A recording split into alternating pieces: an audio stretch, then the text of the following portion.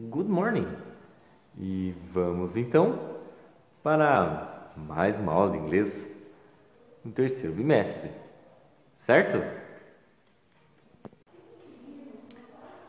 I can and I will. Eu posso e eu vou. Então, se você consegue fazer algo, você tem que fazer, não se enrole. Vai lá e faz por merecer. I can and I will.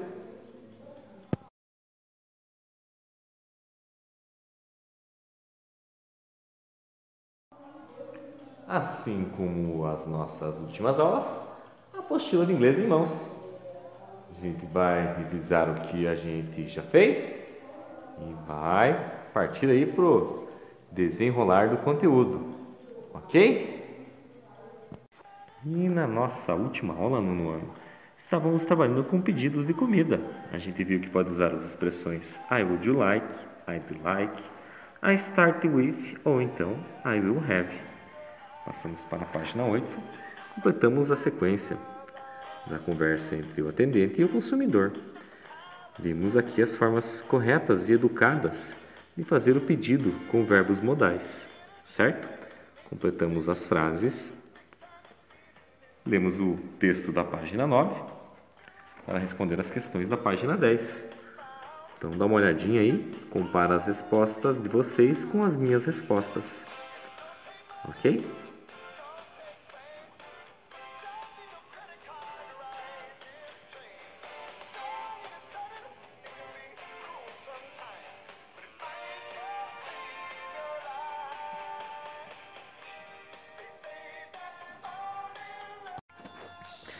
Preferências, prefer and rather.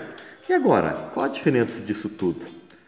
Então a gente prefere uma coisa do que outra. Quando a gente prefere uma coisa do que outra, a gente tem duas maneiras de falar aqui em inglês. Dá uma olhada lá.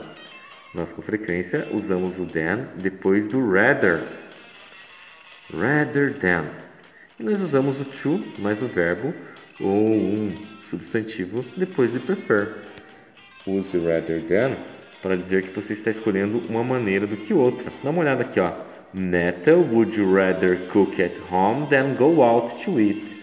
Mateus prefere cozinhar em casa do que comer fora.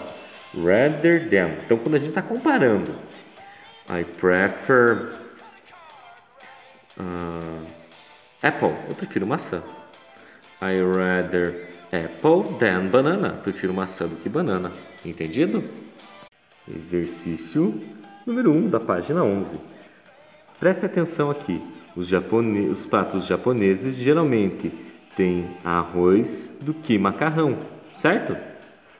Muitos americanos adolescentes preferem jantar hambúrguer. Meu primo francês prefere comer croissant no café da manhã. Geralmente, os brasileiros comem feijão e arroz do que macarrão e queijo. Entenderam o rather than? Do que?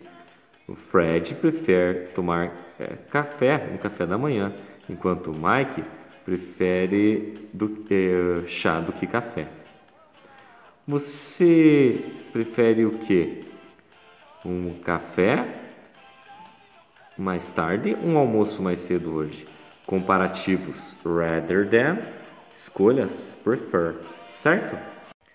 tarefa para vocês no ano e eu preciso de foto desse exercício aqui no grupo.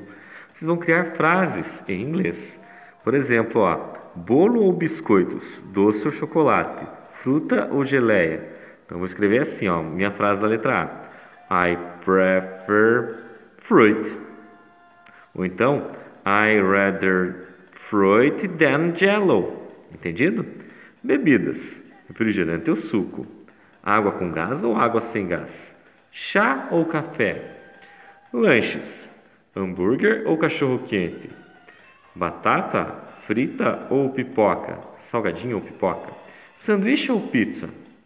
Hábitos saudáveis: salada ou ovos ou, ou vegetais cozidos? Frango ou peixe grelhado? Pão integral ou macarrão integral? Então, uma frase para a letra A, uma frase para B, uma frase para C, uma frase para D, foto e posta no grupo. Beleza? Não esquece aí, pessoal, foto das atividades realizadas na aula de hoje.